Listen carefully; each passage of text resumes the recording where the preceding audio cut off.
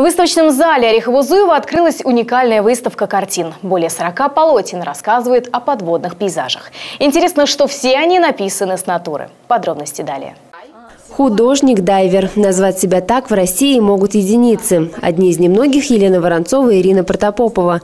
Больше четырех лет они путешествуют по всему миру, погружаются в водные глубины и там рисуют картины. Я погружалась э, в разных морях, океанах, а, начиная с нашего русского севера, э, Баренцево море, Белое море, э, погружалась на озере Байкал – в Ординскую пещеру погружалась. Мы погружались на глубину, выбирали пейзаж так же, как выбирается пейзаж у нас на суше, наверху. Выбиралась самая лучшая, самая прекрасная, красивая. Мы э, устанавливали холст и начинали писать. Созданию каждой картины предшествует большая работа. Холсты грунтуются по специальной технологии. Кисти обматываются металлической проволокой.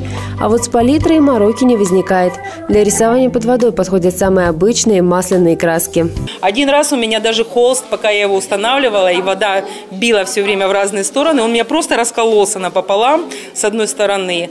Вот. Но ничего, это все равно не мешало закончить эту работу, так как холст был метровый или метр десять, даже больше, чем метр.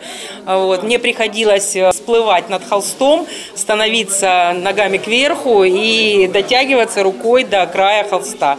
О тонкостях создания подводных картин художницы рассказали на открытии авторской выставки. Больше всего вопросов возникло по картине «Свет». Она была написана Еленой Воронцовой в подводной пещере при температуре 5 градусов Цельсия. Этот подвиг художницы-дайвера был отмечен как мировой рекорд.